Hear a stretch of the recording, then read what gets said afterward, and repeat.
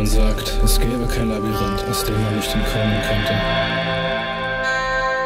Doch in meinem gibt es kein Ende.